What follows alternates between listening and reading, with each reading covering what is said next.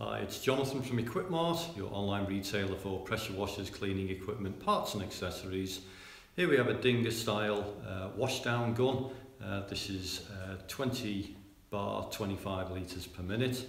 Uh, it's got the three quarters of an inch uh, inlet coupling on the bottom there, female screw thread.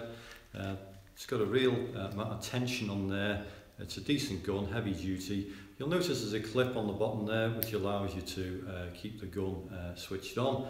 There is an adjustment on the back as well so you can alter the pressure uh, and that's the uh, Dinger style um, washdown gun.